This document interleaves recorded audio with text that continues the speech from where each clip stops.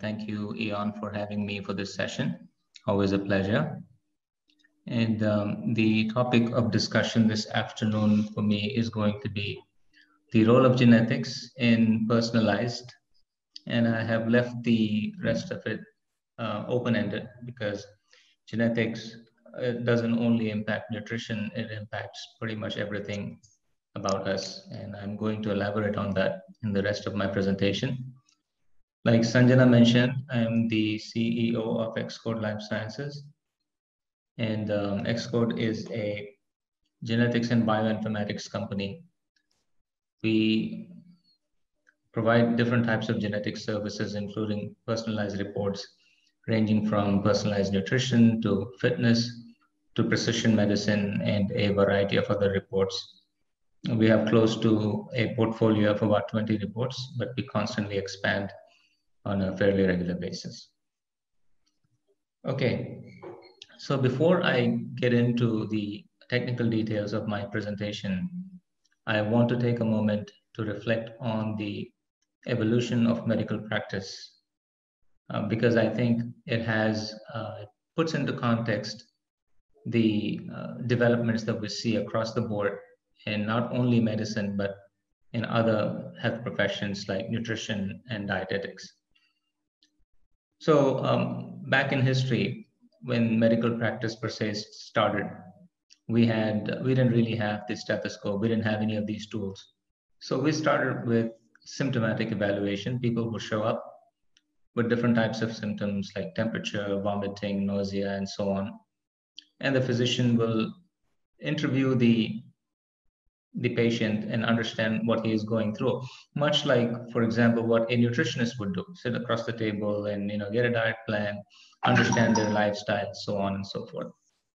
Um, and then over the last couple of hundred years we started to evolve fairly significantly. For example the thermometer was um, invented and it allowed you to measure the temperature approximately. Previously they were used to touch the skin and feel the temperature but now with the thermometer, you could approximately measure the temperature. And fortunately, today we have digital thermometers that can tell you precisely uh, what the temperature is down to a decimal point. The point that I'm trying to make is that technology has evolved. Different types of tools have evolved over a period of time, and they have allowed us to do things that we were not able to do before. And um, I want to recall the adage which says, what can be measured can only be improved. You have to be able to measure it. If you don't know what your weight is, you can't have a target weight. You need to know what you weigh, and then you need to know where you're going. So in these, in, in the evolution of tools, molecular tools, uh, there are digital tools, there are molecular tools. For example, at one point in time in human history, we were not able to measure HbA1c. We didn't know what it was. Today we can, right? So we have a lot many more molecular tools today than we had before, and it's going to continue to expand into the future. And my key point in this slide is genetics is one of these tools. It's not the only tool, it's one of these tools. And it allows you to construct a more fuller picture of human health. For example, if I only tell you the BMI of an individual and nothing else, you don't have a full picture of this individual. I need to give you as many data points as I can. And it's your job as a professional to try to gather as, ma as many data points as you can in constructing a full picture of the individual that you're about to help. So genetics is one of the key tools. It uh, is a very, very recent tool, and it's going to become very prevalent in the future. So how did we get here? When did genetics start and uh, where is it today? So in this chart, you see two lines uh, there's a blue line and there's a red line. I want you, I want, I want to draw your attention to that. The blue line is um, the rate at which the cost of computing dropped over the last 10 years or so. And uh, the reason I have it there is, for example, if you remember the first computers that came in the 1960s, 1970s, they occupied an entire room and they costed a lot of money, hundreds of millions of dollars. And I'm sure almost all of you have smartphones with you each one of those phones is much more powerful than the first computer that costed hundreds of millions of dollars right and what allowed that to happen Um, like people in remote parts of Africa and India, they have smartphones. They, they, they, they don't have reliable electricity, but they have smartphones that connect them to the rest of the world. And what allowed, what enabled this is the blue curve, the rate at which the cost of computing dropped over the last two decades. Now, what is interesting is the red curve is the rate at which the cost of genomics is dropping over the same period of time. You can see it's a lot more dramatic, right? So now we can sequence the entire human genome in a couple of days for about a $1,000, and that is continuing to drop, right? So what this means for you as practitioners is you're going to get many more people show up in your office over the next coming years with their genetic data in their hands and expect you to be able to understand and to be able to use it in personalizing your services to them. So it is a coming wave and it is important that you are aware of it and uh, you equip yourself to be able to handle this. So how do we understand genetics? What really is genetics? Right? One way that I find interesting to understand genetics is being able to look at the different organisms, the different multicellular organisms. They are different, but they are also similar. Um, for example, you see all of them have the architecture of four limbs. They all have a head, they have eyes, they have the cardiovascular system. They have pretty much a lot in common, right? But if I were to show you at the single cell level what these organisms look like, you won't be able to tell the difference. Right? In fact, uh, what is fascinating is every one of us in this meeting and every one of us alive today, our journey into uh, our journey to who um, you know the, the way we look and who we are actually started at a single cell level. So you you know as a grown adult, you probably have about close to four trillion cells in your body. But at one point in time, you were a single cell, right? And all that information that made you who you are today including your skin color to your eye color to everything. In you know what you know what is on the outside what is on the inside everything originated with one single cell. And genetics is that information that created this organism from that cell. It's a code it's a formula that built you right? That sustains you. So every single chemical reaction that is goes on inside of you all proteins that are built and every process inside the body is actually coded inside the genes and they execute it day in and day out. So in other words, the genetics is the software that actually makes the hardware. All right, so let's take an example. Let's look at some examples of what happens if um, there are some errors of any sort in this um, software code. For example, we all know that we are supposed to have, uh, most of us have five digits in our fingers and some of us have six, um, and some of us have four. So the software code, the genetic code that regulates the five digits, there is an anomaly in it that leads to different types of digits. And um, sometimes there is an anomaly in the genetic code that regulates how much body hair one is supposed to have. Uh, so this leads to a condition called hypertrichosis. And um, so this is an extremely rare genetic condition where legs are fused together. It's called a mermaid syndrome. And this is also very common, uh, cleft palate, which is a genetic abnormality. And so one of the reasons these examples stand out is because they are dramatic. You can observe them. For example, if you take a room full of 100 people, most of them will have five digits. So when you spot someone with a six digit, they stand out. But if you go to Africa, most people there are going to have a darker skin tone. So they won't stand out from each other. You go to China, uh, most people will have certain features. They won't stand out in their populations. And you go to certain different parts of the world, people have different characteristics, right? The reason for that is they have adapted through evolutionary history to have those characteristics permanently for a good reason. So for example, when you see there are people with wide eyes, narrow eyes, there are people with slender body type, there are people with short and wide body type. The skin tone is different among people. due to, uh, I'll explain as to why these characteristics came about, but I want to draw your attention to the different types of characteristics on the outside that you see in people. And I want to, the point that I want to make is these are not random. So we assume or we usually think that, oh, this person has uh, this feature, that feature, um, but we don't reflect on why they have that feature. And my point being that there is an evolutionary history to the different features that people carry, right? One example I would like to give uh, at this point is, for example, um, when people, most people live at close to sea level, the amount of oxygen is a certain percentage in the atmosphere at the sea level.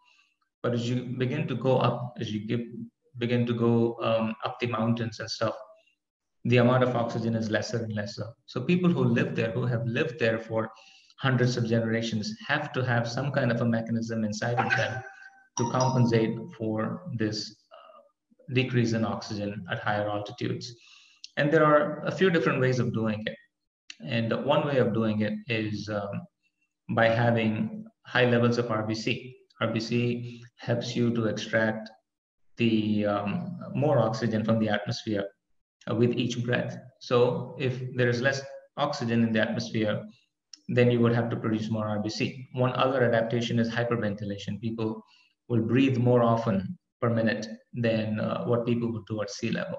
So these are different types of adaptations that are permanently coded inside the genome because our ancestors have been living in a certain envi environment for a very, very long time. And uh, these are some more examples. Okay, so naturally, uh, one question to ask is if it is true that you know it's uh, um, it, it is uh, a simple software code that actually runs our bodies, is it possible to change this code? And the answer today is yes. Um, for example, what you see here on the right hand side is the zebrafish. It's, it's a very simple fish. Uh, that's the natural color. That's how nature produces it in a, in a very kind of colorless manner. But then scientists can induce or infuse this zebrafish genome with genes from other type of species to actually produce these beautiful looking colorful fish and they're actually called glowfish you can commercially buy them i think a company out of canada is manufacturing these so that aside um, humans have always known for, for several centuries now that there are mutant organisms that are present in nature. Nature produces them. These are genetic anomalies. They are not normal, they are different. Um, for example, this particular bull that you see uh, is famous for supporting double the amount of muscle compared to a uh, another bull, the, the regular normal bull. And one of the reasons that happens is this organism carries a mutation called the myostatin mutation, which allows it to have double the amount of muscle compared to the other organisms. It's also found in certain breeds of dogs and things like that. And um, you know, one the, the question then becomes if nature can do this, can we also do this? Can we uh, can we artificially do this? So scientists in China produce these um, uh, pigs uh, for the pork industry, which have double the amount of muscle. They have recreated what nature does here in these uh, organisms that are um, created in the lab and FDA approved for human consumption a genetically modified salmon a few years ago, uh, which grows to twice the size of a regular salmon in the same amount of time. So the, the, to answer the question, genetic technology is progressing very, very fast. Uh, today's discussion is mostly about reading the genetics, but uh, what we are seeing is uh, genetics the applications of genetics is very fast expanding into editing the genetics. You know, for example, can I, uh, you know, maybe there are some countries, um, some have been in the news for this. They are now contemplating, can we produce Usain Bolt, you know, with the genetics, uh, or can we produce tall basketball players? Can we do this? Can we do that? Um, the answer to those questions is um, theoretically all this is possible today with the technology we have but we don't, we haven't ethically still accepted these things. And uh, I think things will take their own course as we go along. So when you travel around the world, when you see different types of people, um, naturally you ask, why are these people different? Why do they look different? What's the story behind them? And you can observe many morphological features that are different. Uh, the skin color is different, the nose morphology is different, the eyes are different. But these are not random changes, they are adaptive changes. That these are features that are embedded in these people uh, over centuries, depending on where they have lived, their ancestors have lived, um, you know, for a very long time. So, um, regardless of where you live today, whether it's uh, Bangladesh or UK or India, we all came about 250,000 years ago from the same place. Um, it's in Central Africa.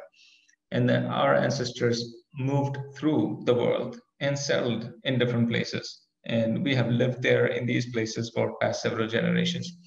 So depending on where we settled is the kind of features that you see in yourself. Um, for example, for example, if um, our as for people in India who have lived there for several hundred generations uh, and close to the equator, they will they probably have a darker skin tone, and so on and so forth. So one example I want to provide is, um, you know, if you take someone from Northern Europe and take people from Africa, uh, these dark-skinned individuals are called uh, African pygmies.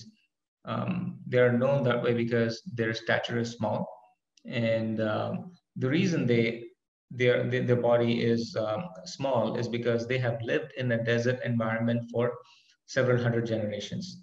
So that means that the desert environment is not rich in calories. It doesn't provide a lot of calories. So over many, many, many generations, the body adapts to it by being small. And obviously the skin tone, the skin tone is dark because Africa sees a lot of sunlight so when you expose yourself to sunlight a lot, there is uh, melanin production to protect you from the UV rays, and that gives the darker texture to the individual.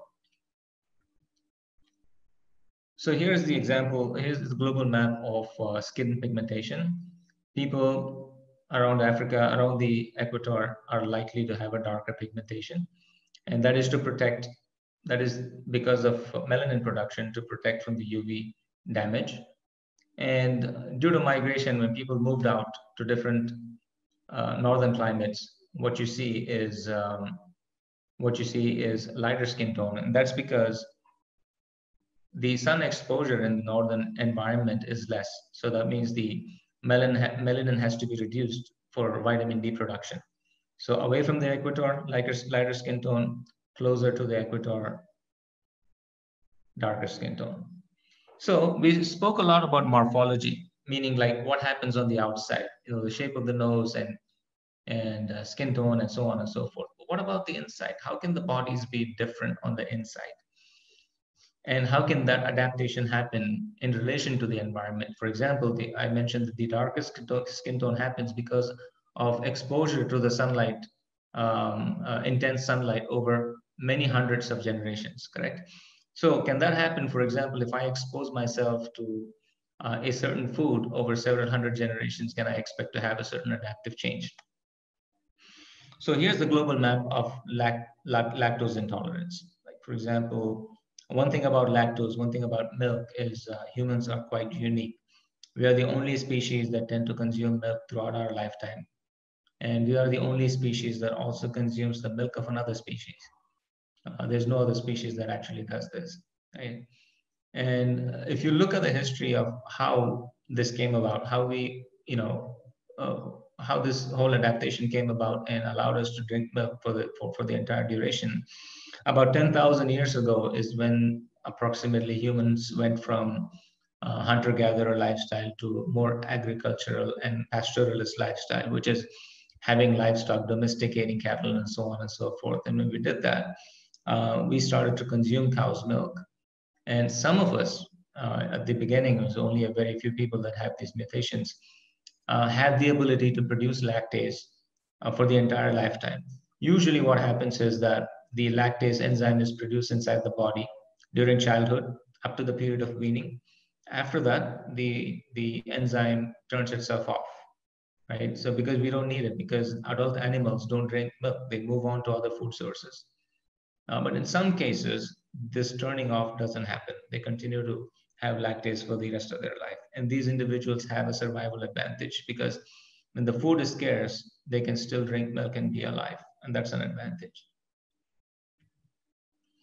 Um, here's an example of um, the prevalence of lactose intolerance in India. It's about 70% um, of the people cannot uh, tolerate milk. This is one example of, um, of nutritional adaptation through genetics.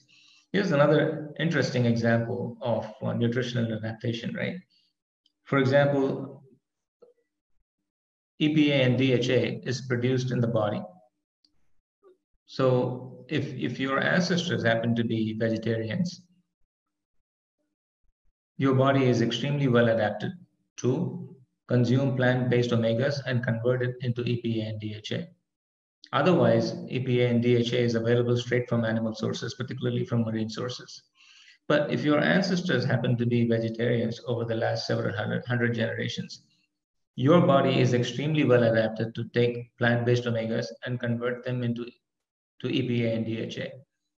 One of the side effects of it is the uh, arachidonic acid is produced in the body, which is an inflammatory. It, it's a harmful substance.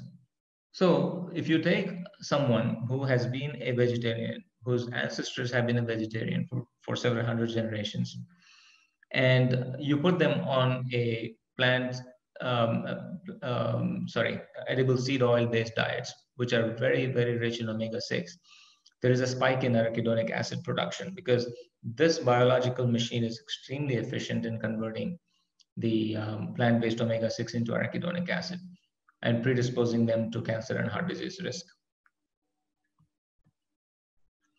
So the summary of this section is what you see in the organism in terms of the looks and the health um, and predisposition to different conditions, response to medications, fitness and, and uh, food metabolism. It's a combination of genetics and epigenetics. Genetics is what is in your genes. Epigenetics is how these genes interact with the environment. Um, the example is you are sitting inside the room, you have a certain skin tone. When you when you go outside and expose yourself to sun, what happens is there is a change in that tone. There is tanning response inside your skin because the cells are producing more melanin to, to, to um, safeguard you from UV radiation. So that's epigenetics. Interaction of your genes with the environment is epigenetics. So everything about you is a combination of your genetics and epigenetics. Okay, so my next section is precision medicine. Uh, I'm not sure if there are physicians in this session, but I will still go through this section for the sake of completeness. Um, and I think there are some general points that uh, the audience can appreciate. Before I get into this, I want to give you an example of um, alcohol. Medicines um, that we consume are really nothing more than small molecules. And um, alcohol is also a molecule. So if you take about a room full of people, say 100 people, and you give them all one glass of alcohol, they will all not have the same response. Some of them will feel drunk, some of them will feel no difference, and everybody else will be somewhere in between, right? The same molecule in the same quantity produces different effects. The reason for that is this molecule is metabolized, converted inside the body with the help of enzymes. And the enzymes are produced by genes depending on what version of the gene they have. In this particular case is alcohol dehydrogenase. Depending on what version of the gene they have, they will have different outcomes to the same exact molecule.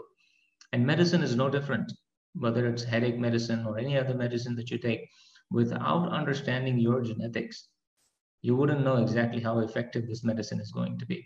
Unfortunately, today it's not practiced yet, but in the future, almost all medicine will be personalized medicine. They will not be prescribed without understanding your genetics first.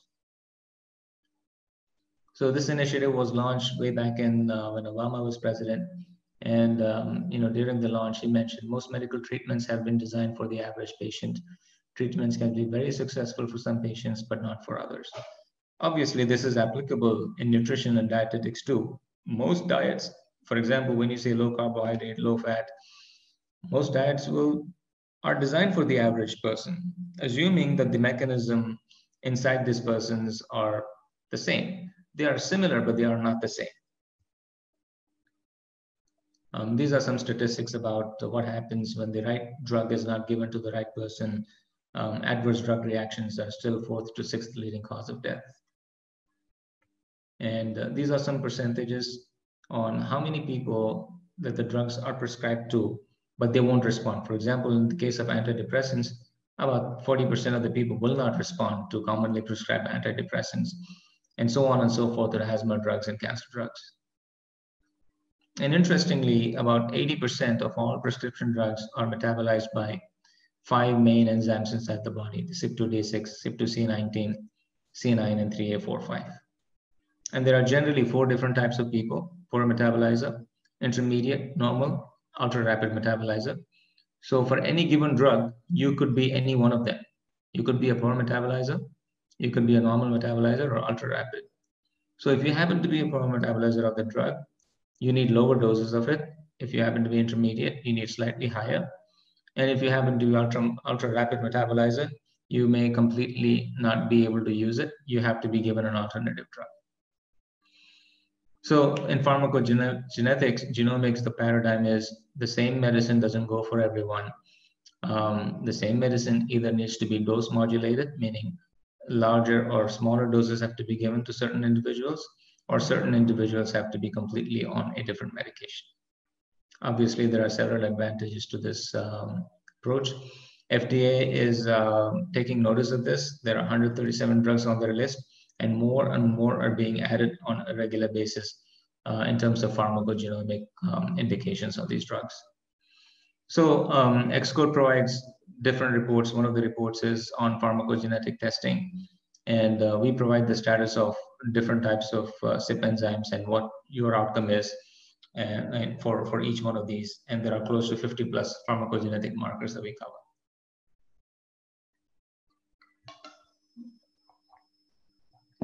Okay, so moving on to the next topic, which is um, predisposition to different conditions, particularly lifestyle conditions like obesity, diabetes, hypertension, and heart disease. According to WHO, 80% of premature heart disease, stroke, and diabetes can be prevented. And according to Center for Disease Control, 75% of all healthcare costs today are preventable, and 70% of all deaths are preventable. And for most of the for most of the health conditions, there are two components. There's obviously the environmental risk factors like smoking, alcohol, excessive eating, and so on and so forth.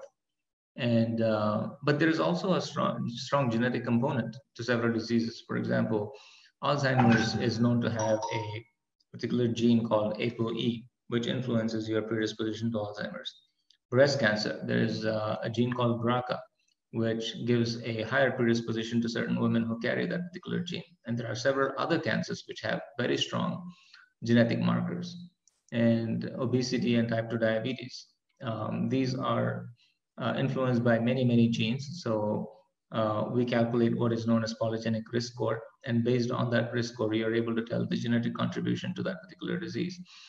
Um, this is fascinating because so far the genetic component has been completely ignored and that's why we see a lot of anomalies. For example, not everybody who's overweight goes on to develop a disease.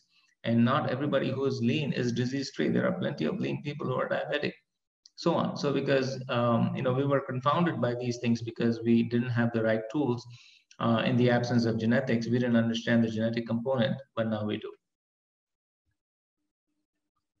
Okay, coming to the final segment of my presentation, which is on um, genetics and epigenetics pertaining to human nutrition, uh, what we see is um, the confounding of if you take two individuals, all else being equal, give them the same type of diet, give them the same types of exercises, but the outcomes are different. They don't have the same outcome, they have different outcomes. And uh, this has been confounding so far in the absence of genetic information. But thankfully today we have a decent amount of genetic information. It's still nascent, it's still in the early stages, but I think relatively good enough for us to begin in introducing this into our practices. But I wanted to first discuss with you the aspect of obesity um, worldwide. Close to 30% of the global population is considered to be um, obese or close to obese. And um, initially, it was thought that obesity is a condition of the rich, meaning people who can afford a lot of food, gorge themselves on food, and then become obese. Unfortunately, the data point over the last decades indicate that uh, much of obesity is really prevalent in what is known as middle income countries or developing countries. And that's because of the availability of the wrong kind of food. Um, right? For example, the carbohydrate rich, refined carbohydrate foods that is now widely available throughout the world. So even, you know, and it's also cheap. So people who are in the low income bracket are able to afford more and more of this food, which is leading to uh, obesity prevalence worldwide. When it comes to human body types, uh, morphologically though, before we get into the genetics, morphologically, we were able to appreciate that broadly there are three types of human bodies, the ectomorph, the mesomorph, and the endomorph, uh, differentiating within themselves by, by means of the musculoskeletal structure, muscle fiber composition, adiposity, uh, hormone rates, enzymatic levels, and the metabolic rate. And how do we understand? So this is on the outside. What you see here is on the outside. But what is happening on the inside? What are the differences that you see? And why did this differences came about? I think that is important to understand because technically you can get into every single gene and understand the allele and the genotype and all that. But I think you as a nutritionist and dietitians, it is important for you to understand to make the client understand the context of why these changes came about. These changes came about because we have a very, very deep history. And uh, although you were born maybe about 30 years ago, 40 years ago, uh, you can trace back your ancestry to your to your parents. Obviously, they can trace it back to their parents. And if you keep going through that chain, uh, you have to ask yourself, how far back can you go? And the answer is you can go all the way back to the first life form on this planet, which is approximately about 3 billion years ago is when that event happened. The first unicellular organisms began populating the planet. And we are all today a derivative of that process that happened about 3 billion years ago. So if I can trace my ancestry to my father and his father and mother all the way back, I can keep going all the way to the first organism on the planet. Because if that chain was ever broken, uh, I wouldn't be here, you wouldn't be here right? So the fact that we are in this seminar tells us that you know, that, you know we have been transmitted from the beginning all the way till today. And what is in your genes is that story of that adaptation of oh, where your ancestors had lived. At some point in time, they were tropical. Um, you know, the the the uh, uh, the the primate ancestors of humans were mostly tropical. They lived on fruits and berries. So we have a lot of genes that are optimized to take fruits and berries and function well. And then we transitioned to hunter-gatherer types of lifestyles. Uh, we stayed there for several centuries. And then recently we transitioned to agricultural pastoralist lifestyle, which is more rich in carbohydrates. That adaptation is still ongoing. One of the examples of that adaptation, um, you know, we read about is the amylase gene, which is a starch processing gene. So about 10, 15,000 years ago, when we made the transition to agricultural lifestyle, the copy numbers, the number of copies of the amylase gene that we carry has increased in certain populations to help us deal with it. And if you look at people who have lived in Antarctica and colder regions for very, very long time, hundreds of, hundreds of generations, they don't have all different types of fruits and vegetables and all that. They live on uh, you know, uh, seal blubber and uh, fish. That's their primary diet. Their bodies are optimized for that kind of food. So if you take someone whose body is not optimized for that kind of food and give them that kind of food, they will have all kinds of problems, right? So it is about understanding that rich history um, of evolutionary adaptation that is in your genes and optimizing you for that particular diet that you're uh, already built for. So generally, the if you look at the role of genes um, in nutrition, it is quite broad-based. It, uh, in fact, it, it spans everything from the desire for food, the desire for certain types of foods, and the taste of food. For example, there are genes that encode the uh, taste perception, bitter taste perception, sweet taste perception, and your response to those type of foods, and how that food is transported, broken down enzymatically, metabolized bound and transported through the blood and received inside the cells. Every one of these steps is regulated through proteins and enzymes. And all of these, every one of these, are actually regulated by specific genes or specific set of genes. Broadly speaking, though, um, what happens is at birth, um, you're like a um, shuffled deck of cards. For example, your father has a deck, your mother has a deck. You are a combination of both, right? So you you get one card from your father, one card from your mother. This is a very very simplistic example. For example, say number seven regulates carbohydrate metabolism. You get one copy of number seven from your father and one from your mother. They don't have to be the same, they can be different. Uh, and so on and so forth. And depending on what combination you received is, is how you will manifest yourself. Um, so we looked at it a little bit as to what are the factors for obesity and overweight, and uh, lifestyle plays a big role. But genetics also plays a significant role. In some estimates, about 40 to 70% of obesity is genetically mediated. And here are some genes. Uh, for example, the um, food selection genes that impact food selection and genes that impact cognitive behavior with regards to eating. Uh, leptin is a gene that is known to produce the leptin hormone. And the job of leptin hormone is to signal to your brain that you have eaten to your full capacity and now you can stop feeding. That's how you know that you're full and you should stop eating. Um, and there are a set of genes, for example, like you notice when you're having tea or coffee with some individuals, some individuals are happy with one spoon of sugar. Some people need two, some people need three. And that is because the number of taste receptors on their tongue are different and their sensitivity is also different. So they need more sugar to sense the sweetness that you can sense with one spoon of sugar. And this obviously they're doing subconsciously. But being aware of such genetics can actually help them modulate their behavior in a positive way. And ghrelin is a hormone, it's known as the hunger hormone. It is the hormone that signals to your brain that your glucose levels are running low and that you should go and seek food. Um, and, and so on. There are several examples of uh, genes that have been researched and uh, shown to be associated with different aspects of eating. This is the sample report of what we provide through Xcode as a nutrition report. Uh, let me just switch back a little bit and show you uh, our full report.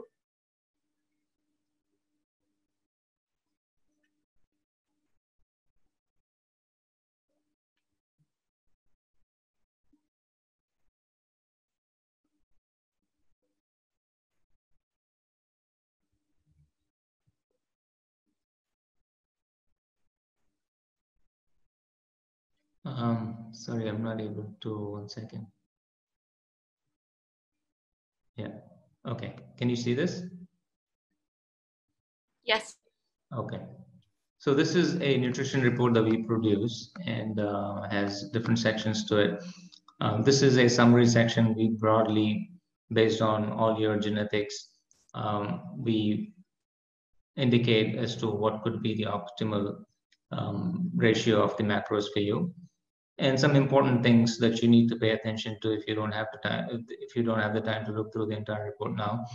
Um, we indicate the gluten sensitivity lactose intolerance alcohol flush and the important micronutrients that you might need to care about. And this is the summary section and these are the different traits that are covered in this report. Tendency to gain weight overeat. These are behavioral aspects of eating and um, preferences for different types of foods, fatty foods, sweet foods, bitter foods, and the sensitivity to different macros and, and weight gain tendency. And um, several, several um, traits are included, and we continue to include more and more on an ongoing basis. Different vitamins and micronutrients. For example, uh, I'll give you one example here. Um, if you look at uh, vitamin A, vitamin A can be obtained from animal sources. From plant sources, you only obtain carotenoids, and which needs which need to be converted through an enzymatic reaction. And some people have a gene that is not that does not produce an efficient enzyme. So if two people consume the same amount of carotenoids, one of them might be consuming them into retinols more efficiently than others. And like that, we have several other examples on uh, different vitamins and micronutrients that you may be genetically predisposed to require more. So we have close to about 35 traits now. And, and then you get into the detailed section of each one of these, which explains what this is about and also gives you very specific recommendations on for your genetic type, what is it that you need to do.